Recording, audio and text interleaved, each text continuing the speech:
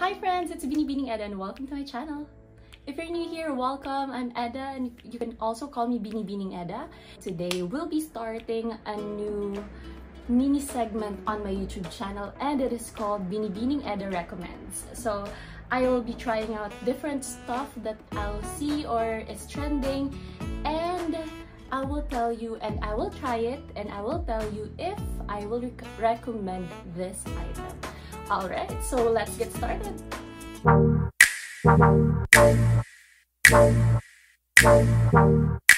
For today's Binibining Eda recommend, I, what I ordered was a hair curler. Sobra akong na na-intriga sa item na to kasi I've been seeing this always sa Lazada, sa Shopee, and also sa Facebook.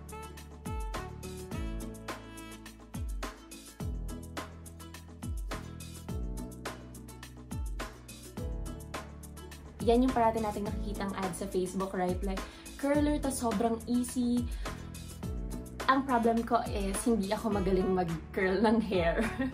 As in, kung makikita nyo sa mga photos ko, parati lang ako nakaipit or nakaside ng ganyan. Kapag naka-curl ako, most likely someone did it for me. Let us see if yung mga nakikita natin sa ads is legit ba talaga na parang isang ganun lang, kukulot na agad siya, or mag-work ba siya sa someone na hindi marunong mag-ayos, magkulot ng hair. Alright, let's start! For starters, it is called the Curve Automatic Korean Hair Curler. This is it! Yan. Ta-da! I have it right here, this one. And sa online and sa Facebook, it retails for 999 pesos. And I got this in Lazada worth 277 pesos only. So, kung ako sa inyo, mag, mag mga ganitong items, mag-search kayo online, Lazada, Shopee. Usually, meron namang monthly sale. Tapos, take advantage na yun, girl. Pabudol tayo kahit, pa, kahit paminsan lang. Product specification. Maximum, maximum temperature for 200 degrees, Celsius. Type, it's mono-functional curler. Feature 360 rota rotatable. Applicable hair, dry and wet. So, pwede siya dry hair or wet hair. Uh, voltage is 100 to 240 volts, dual voltage. And the material is tourmaline ceramic. Since nga nakuha ko siya noong December at February na ngayon, natapon ko na yung box. But, syempre sinave ko yung mga items dun sa box na yun. If, um, when I received the package, it looked like this. The box also include this comb and also dalawang ipit. Ayan. So, try natin siya ngayon. Kasi hindi ako magaling mag-curl ng hair. So, gusto ko matry if kung gano'n ba kung gano'n ba talaga kaganda yung effect ng nitong ano na to. So, plug na natin siya.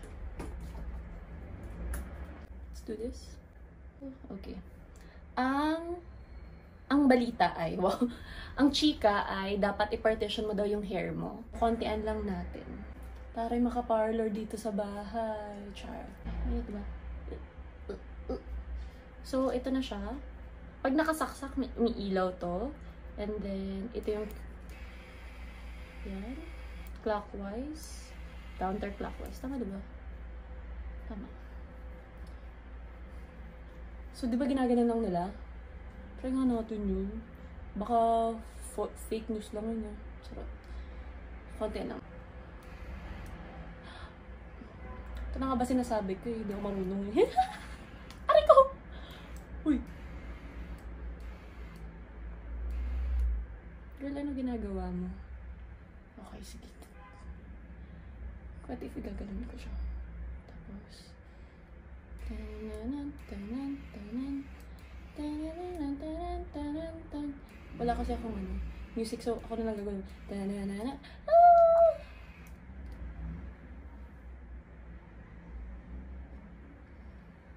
Ano kaya to?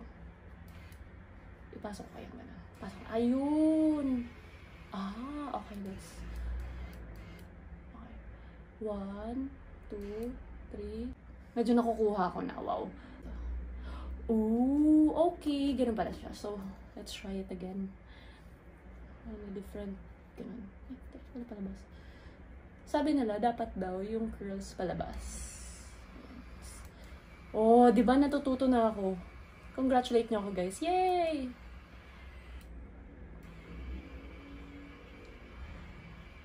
Ano nangyari? Okay. Dahil medyo alam ko na yung technique. Okay. Ganun. Pasok natin ganyan. Ayun! Tapos, leave it on, I think.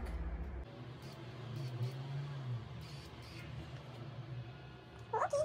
Parang, kung hindi ka parang ganun, ay kasi may din kasi yung hair ko. Medyo okay siya, ah. maano siya. Decent yung pagkaka-curl ng hair ko ngayon. Oh, nice! Okay. I like it, ha? Huh? I like it. I like it real good.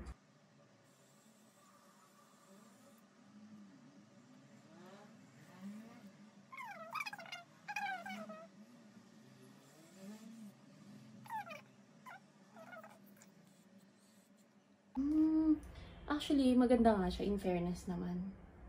Para sa someone na hindi ganun kagaling mag-curl, medyo decent na yung curls ko. Ayan.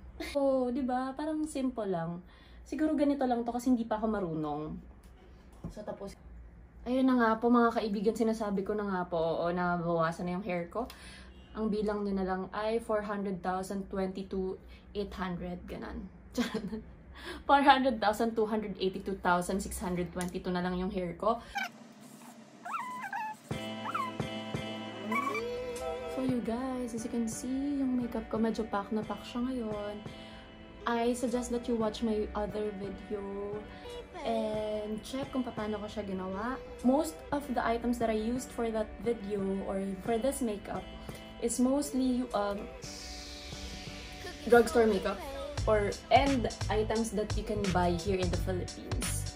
Isa, siguro isang item na yung binili kong, ay ginamit kong hindi pang, hindi nabibili sa Pilipinas. Oh! In fairness, in fairness talaga. In fairness, oo, natutuwa ako sa kanya.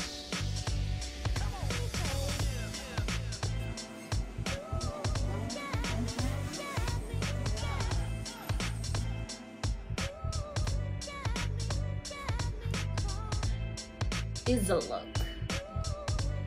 Mukha akong babae sa 70s. Sarap.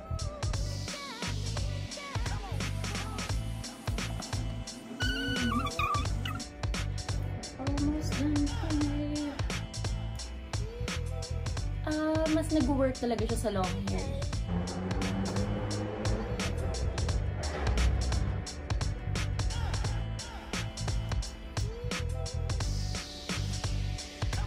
Ooh, it's nice. Ganda niya. Winner. Tapos, ang fresh lang ng curls niya. Ayan. Kahit hindi ako marunong, tas first time ko lang siya i-try. Parang, parang galing-galing ko na agad. Hindi siya nakaka-stress. Nakaka-stress lang sa likod na part. So, easier kapag longer yung buhok mo kasi mas sumusunod siya. Tapos, maraming ikot na ganyan. Pero yung dito sa likod ko, nahihirapan talaga ako. Kasi sobrang iksi niya lang. Like, ito lang yung hair ko. Ganyan lang kahaba. But, overall, sobrang ganda niya. And, what I really like about it is, one, mura lang siya.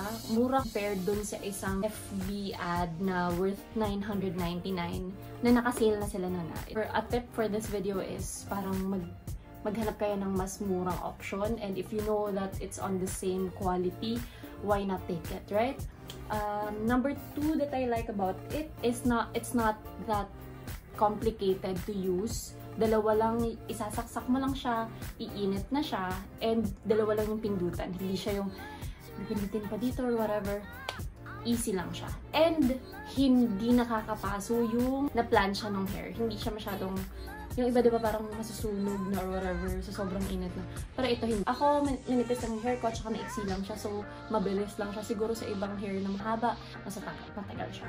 So, I have three points for this um, hair curler. So, will I recommend it?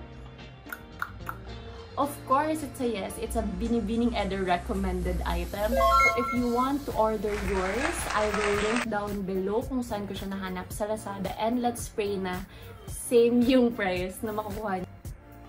Thank you so much for watching this video. If you learned something or if you want me to try anything else other than this um, item right here, anything that you'd like me to try, all you have to do is to comment down below um, the link of the business or the things that you want you'd want me to try. If you'd like to connect with me, all you have to do is to click the subscribe button. You can follow me on Instagram, that's Binibining Eda as well. This has been Binibining Eda. Thank you for watching.